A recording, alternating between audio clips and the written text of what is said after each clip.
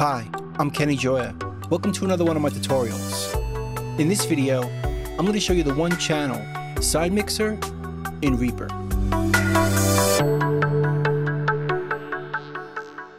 Now the purpose of the one channel side mixer is that it'll allow us to control more elements or parameters, especially the volume fader, one track at a time, using up less screen real estate than opening the full mixer each time. Now, when we first open Reaper, it should look like this, with the arrangement window up here and the mixer down here. If the mixer is hidden, we can just open it up in the View menu right here. And it defaults to being docked down here. But we can go to this tab down here and drag it out. See this gray box? And let go. Now the mixer is floating. Or we could right click it and dock it again. Now for this trick, we're going to put one channel of our mixer over on the left side of the arrangement window. So first we're going to right click over here and turn off the option show multiple rows of tracks when size permits. And we'll also right click and make sure scroll view when tracks activated is also turned on which it is by default. Now we'll go down here and grab this tab again, drag it out, see that gray box? But instead of letting go, just drag it to the left side, see the entire left side has a gray bar, and let go. And now our mixer is over here on the left side of the arrangement window. So now we go over here and grab this line and drag it over so we only see one track at a time. If we don't get it perfect, like this, if we select each track, it's not going to stay in alignment left to right. So make sure you bring it over perfectly so we just see one track, like this. And then it's stable as we select each track. And now notice, as we select each track, the mixer changes to that track. Our kick, our snare, our synth loop, our piano, making it a lot easier to grab a full fader and adjust the volume for each track. Now I should mention that by default, we have volume knobs on each track, but we could change that to faders, go to options, go to themes, and choose the theme adjuster. And then go to the track control panel, tab, and switch the volume size from knob to fader. So we can adjust the fader right here. But for this purpose, let's keep it as a knob. Because we have a full fader right here to adjust. So now if we're mixing our track, let's mute these three. We could start with the kick. Get the volume just right. Go to the snare.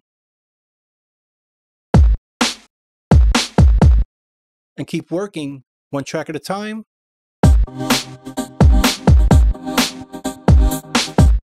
And then finally, the piano.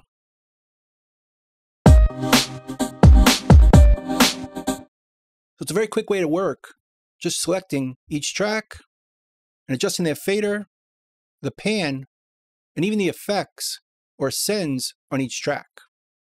Sing it all in one window without taking up too much room and we can readjust the height of the mixer, hold down control on the PC or command on the Mac, and make the effects or sends bigger or smaller, making the fader bigger, or just make it so we only see the fader.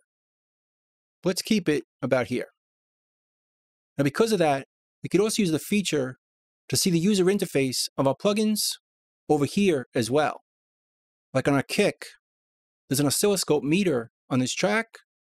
So if we right click it, we could choose to view it in the mixer. Then we can make this track a bit bigger without holding down the modifier, but just grab it so it's bigger and resize it like this. Now we can see this meter as the track plays.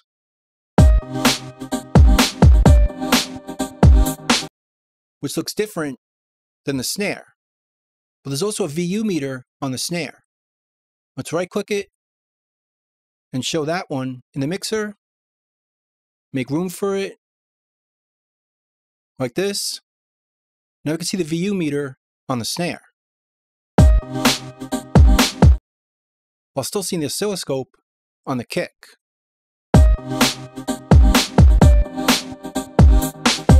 And the synth loop has a goniometer on it. Show embedded user interface in the mixer. Make this bigger. Now each track is set up to look different. We can still grab the faders the same way, but we'll see the meters differently on each track.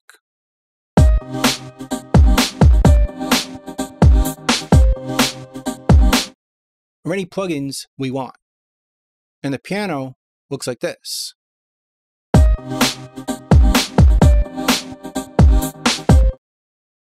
But now you're probably thinking, what if I still want to use the bigger mixer? Well, we can still do that if we save this as a screen set.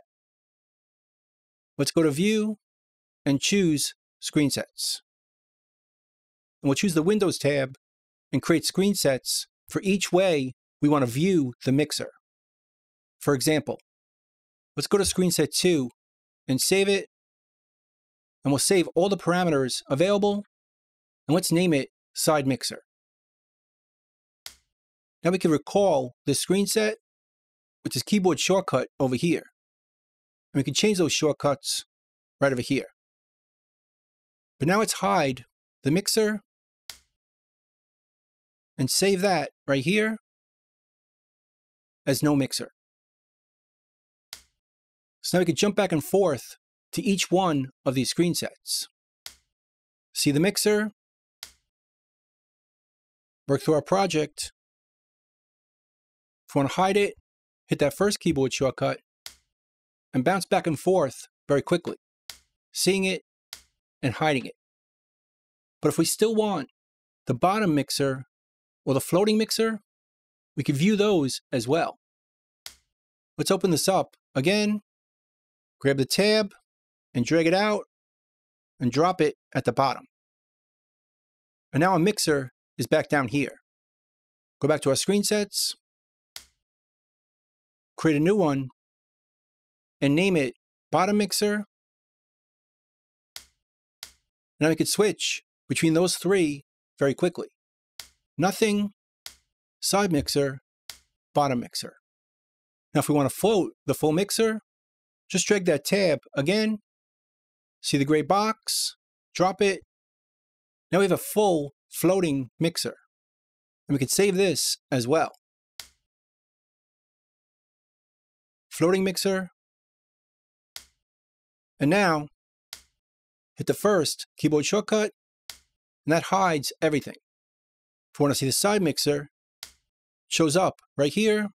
For each track we want to adjust, view the bottom mixer like this, or the floating mixer like this. So we don't lose anything in the process. We can have any view we want, but my favorite view is the one channel side mixer. Because we can choose one track at a time and make all the adjustments we need right from here. And hide it very quickly.